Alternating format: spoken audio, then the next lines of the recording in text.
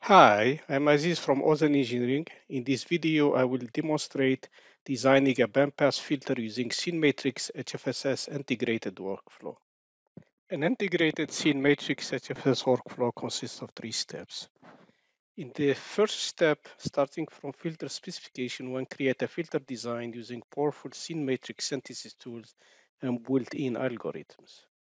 The next step is to build a fully parameterized 3D model of the filter in HFSS using Synmatrix automated layout tools.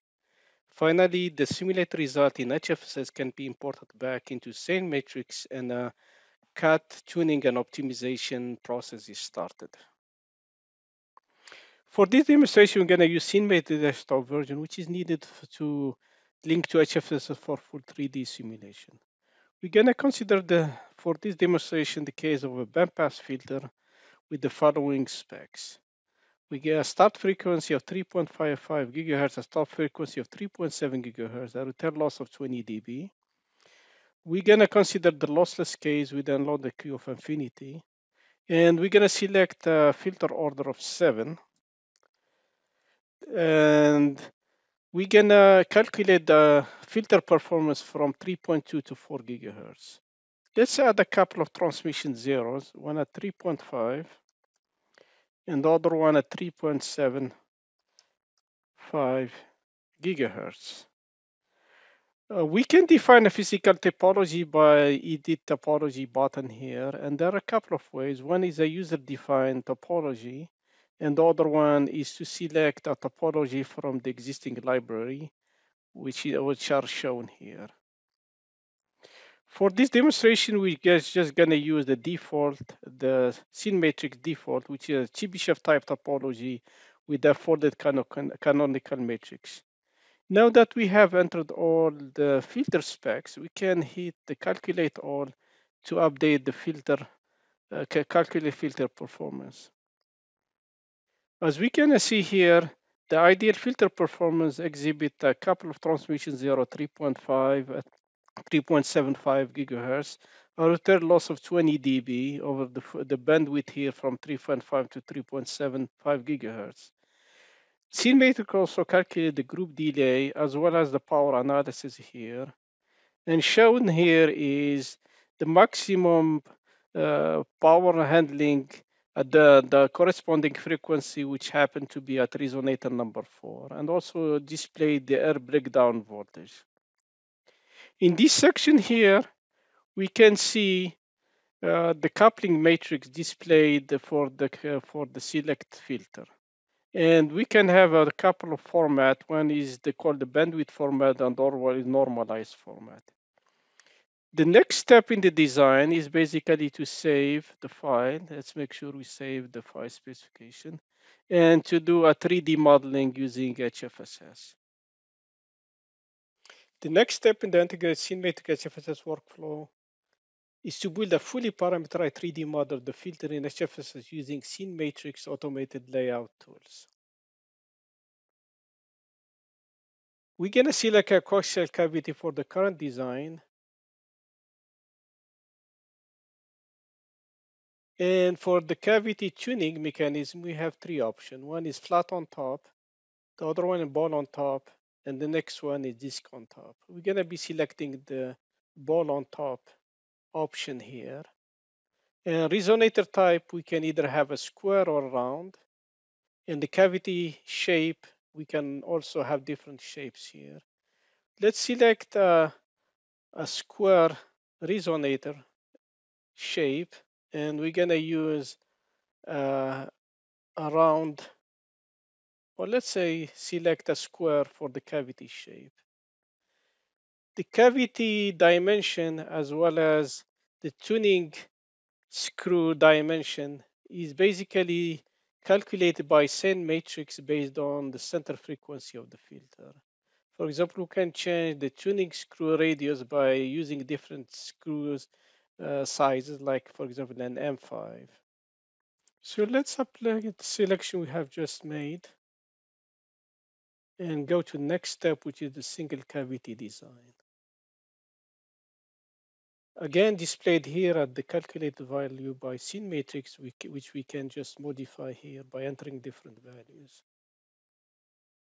We can define here a draft angle for the housing, which is really uh, Uh, needed during manufacturing. And also we can do the same thing for the resonator. We can also do a rounding for the housing and a rounding for the resonator. I choose these values here, just an example. For the cavity material, I'm using a, a silver. And let's apply and move to next step. The next step is to define the tuning scheme.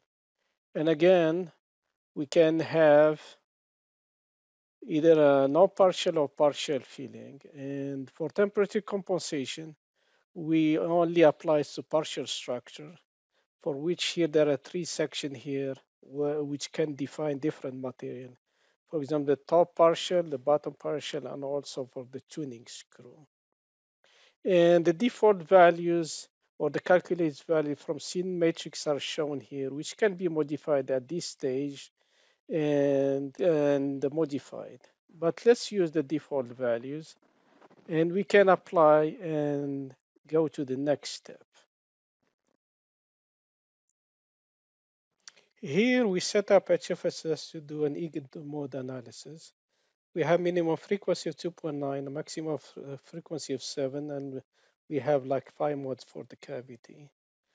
Uh, we can set the meshing uh, in this section here and for this purpose we're to do an auto meshing and we can also select if we want to do a curvilinear meshing for curved surfaces. Also we can do a peak power analysis here by setting the uh, the design here and also we can do a terminal shift. So we're just to use the default here and we're to construct the model and launch HFSS. Shown here is a HFSS eigenmode simulation for the single cavity, which is, as we can see here, fully parameterized. And one at this stage can analyze the cavity for resonance as well as for power handling and losses. A parametric study can be done also at this stage to see the effect of the uh, tuning screw on the frequency as well as the unloaded EQ.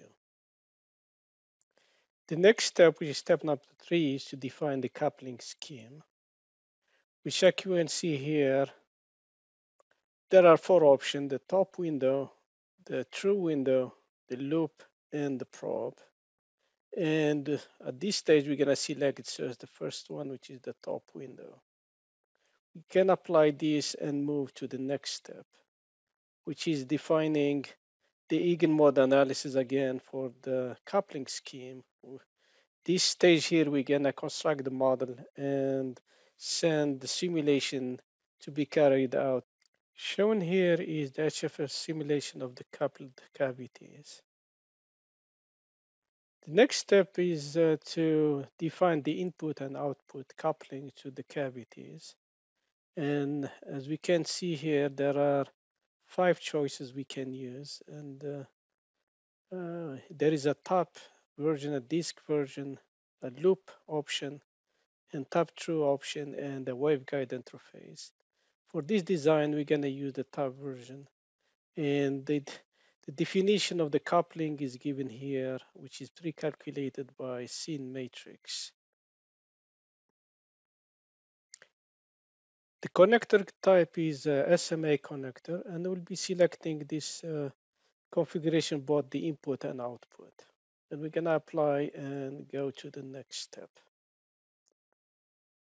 Here we're gonna construct the model and launch HFSS to simulate the input and output uh, cavity.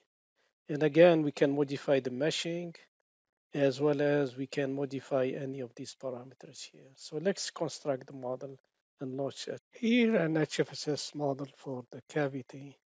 As we can see here, we're going to do a full HFSS model analysis on the cavity to find the reflection coefficient as well as the group delay. And again, the input and output cavities are fully parameterized. The next step is to choose full 3D modeling to do a full 3D filter layout uh, design. The filter here, as we select in the beginning, they're in line, but this can be changed, the topology can be arbitrarily changed by clicking any of the resonator and rotating their or and changing their orientation.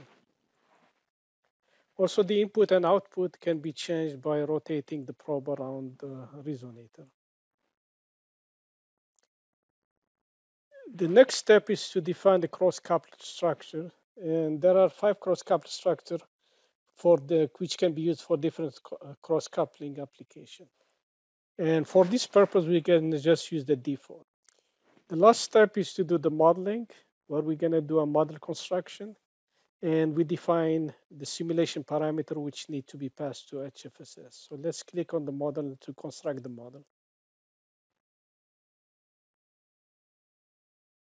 Once the construction of the model is complete, we're to run the simulation by invoking HFSS. This shows the HFSS simulation of the complete filter.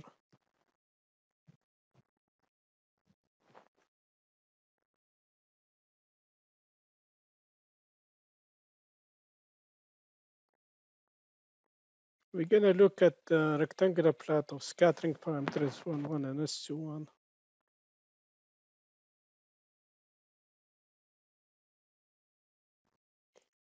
As we can see here, the S11 and S21 are not meeting the specs. And the next step is to do a computer aided tuning in Synmatrix.